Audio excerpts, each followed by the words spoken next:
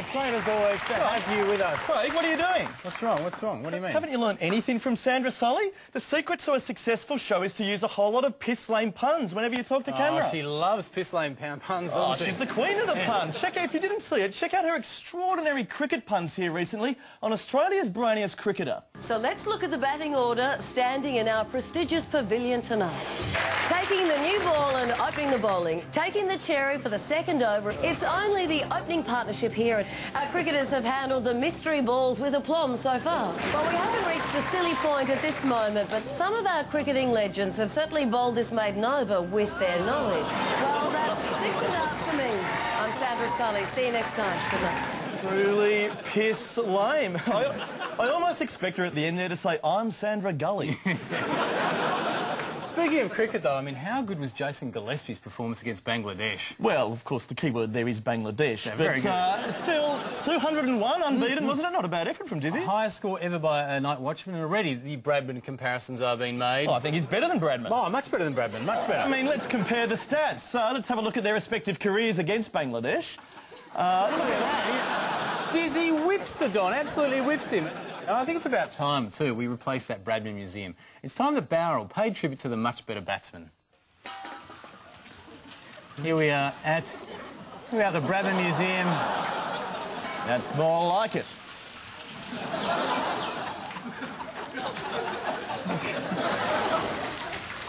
And the mullet. Ah, the mullets. It's, it's dizzy already. Suits the Don. So, mate, Well, look out. we're just at the Gillespie Museum. Have you heard? Bradman's out, mate. We- It's the Gillespie. You don't want to stay around for the Gillespie Museum? No, I'd be happy if you took that off. Not happy with the mullet? No, we're not. Okay.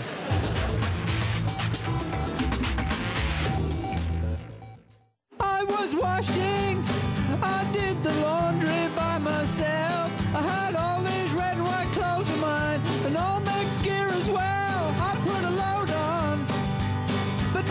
did I pause to think. I forgot to separate whites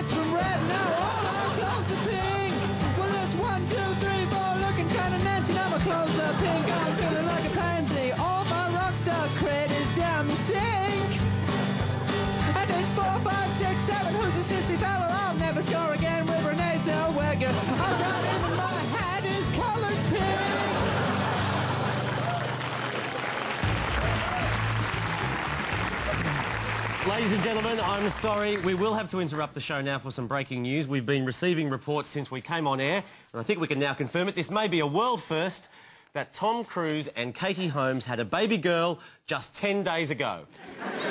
What a scoop! How did we find that? Now, I follow the news closely. I did not know she was even pregnant. But look, obviously, uh, we should pass on our congratulations to the happy parents. Uh, it's a great moment for Tom. Means a big increase in his childcare responsibilities. Obviously, now got to look after both Katie and the baby, so it's going to be very difficult for True, him. it's going to be hard. Apparently, they've uh, decided to name the child Suri, uh, which is a Hebrew word meaning future Scientologist. Yes. The Scientologists have all these weird beliefs, don't they? Like they believe that an alien was involved in bringing humans to the planet Earth, and they have this thing about silent birth too. There's a rule that says you're not allowed to uh, make any loud screaming or emotional outbursts unless, of course, it's on the Oprah Winfrey Show, in which case, absolutely fine. Look, sadly, we're not all as lucky as young Suri. We're not all just born into Scientology.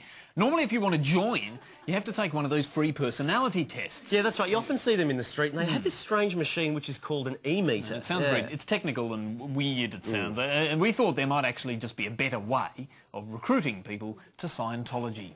Would you like to do a free gullibility test today, sir? We're just conducting a gullibility test. Right. Um, and you're doing very well already, actually, Yeah. so well done. Um, I'm just going to read you a few statements. You don't have to actually believe them, but if you could believe them, just give us a yes, okay? Scientology lets you attain several different states of existence in just one lifetime. No. Could? You could believe that? I could believe that. Okay, good. Could you believe that it's a coincidence that a famous science fiction writer also invented a completely true religion involving aliens and spacecraft? That's a tough one. I wouldn't You don't, think you don't have to believe it now. Do you think Oh, you're capable cool. of believing it? Oh, look, I could believe anything. Yeah, okay. Give me a couple of drinks. That's what we're looking for. Excellent.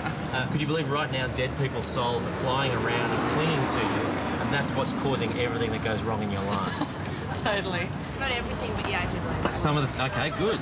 Oh, no, that would be my ex-girlfriend. If it's 75 million years ago, the Earth was... Don't believe that? No. Could you believe that? No. No, with intensive therapy, some courses, Oh. Maybe a few donations.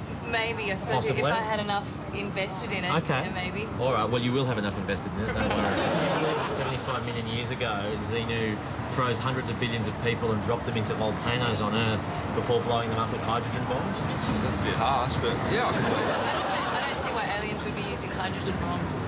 Sure. Could you believe that Tom Cruise is a completely normal human being? No. Right, okay. Well, you, you've scored very high though on everything else, but even that, It's a bit much. just can't believe that. There's no doubt that he's completely sane. Are you being serious? No. if you believe that, you're actually too gullible for the gullible test, so you've done well. To make this fully scientific, we do need to check your reading on the BS meter. We're testing whether you're shrewd, gullible, or James Packer. Now, the James Packer is not a reference to Scientology, that's just a reference to One.Tel, actually. How does it feel to you? Does it, It's okay. Does it feel scientific? Yeah, it does. Yeah? Scientific enough? Yes. Would you like to take a test? No, that's fine. No? thanks. It's free. no, no, I'm the, I'm the official from the church, so. Oh, okay. Yeah, yeah. All right, all right. Well, uh, if we get any people who pass, we'll send them in, eh?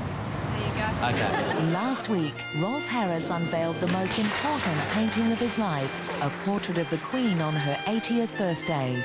And this week, it's Christo's turn. Join the celebrated artist as he wraps Her Majesty from head to toe. The Queen by Christo, 7.30 Sunday on ABC. Where's that other corgi gone?